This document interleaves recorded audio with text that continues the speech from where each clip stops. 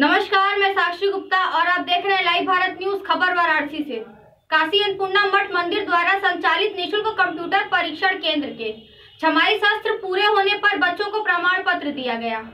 वह संस्था की ओर से अव्वल बच्चों को उपहार स्वरूप लैपटॉप दिया गया। और संस्था के ट्रस्टी आशीष जिंदल ने कहा कि, बच्चों को आगे बढ़ाने के लिए जो कार्य संस्था कर रही है, मैं उसका शुक्रगुजार हूँ। देखिए, वाराणसी से हमारे संवाददाता अभिषेक दुबे की रिपोर्ट।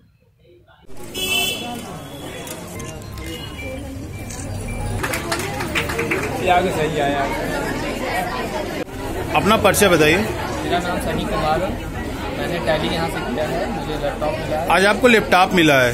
और माता अर्पणा की कृपा से आप अच्छे नंबरों से अच्छी चीज़ों से पास हुए। क्या इस संस्था के लिए और महाराज जी के लिए और माता अर्पणा के लिए और समस्त स्टूडेंट के लिए क्या कहना चाहते हैं?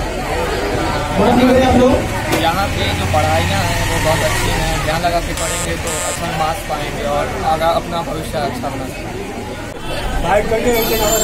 हाँ। सर अपना परिचय बताएँ। मेरा नाम आशीष जिंदल है मैं इस संस्था का ट्रस्टी हूँ।